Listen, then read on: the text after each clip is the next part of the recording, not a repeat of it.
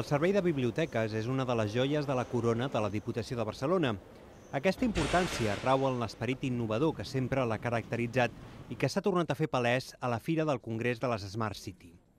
Allà, la cap de la Unitat de Gestió de Continguts de la xarxa de biblioteques, Núria Méndez, ha explicat com s'ha donat resposta a una pregunta capdalt.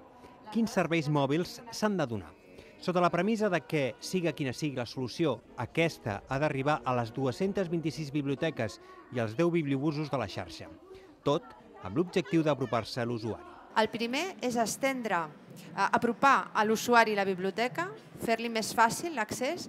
Hem passat d'una biblioteca física a una biblioteca virtual, doncs ara cal fer el pas a la biblioteca de butxaca.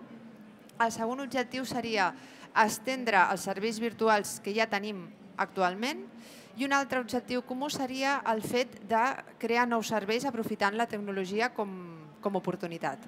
Una de les eines per complir aquests objectius és l'aplicació Biblioteques XBM. Es va posar en marxa el 2013 i en els darrers temps ha patit diferents modificacions, la darrera el mes de juny passat. Núria Méndez ha explicat que s'ha canviat l'aspecte de l'aplicació i s'ha millorat el menú, de manera que s'ha fet més simple per a l'usuari. El carnet virtual, la geolocalització de biblioteques o l'accés al catàleg són algunes de les funcionalitats més destacades, amb algunes novetats, com dades sobre els bibliobusos. Des d'aquí podem consultar quines són les parades dels bibliobusos que tenim, quins són els seus horaris, podem consultar quines activitats fan i, a més a més, tenim un formulari de contacte amb el bibliobús perquè hem considerat que és un servei eh, especial un servei que requereix un, un tractament especial i per tant se li dona la possibilitat a l'usuari de posar-se en contacte directament amb el bibliobús a través de l'aplicació. Pel que fa a les xarxes socials, el Servei de Biblioteques té perfils actius a YouTube, Facebook, Twitter i Instagram. Tot plegat, segons Méndez, per garantir el contacte directe amb l'usuari. La tecnologia mòbil és una oportunitat per desenvolupar serveis i per connectar de forma més directa a l'usuari.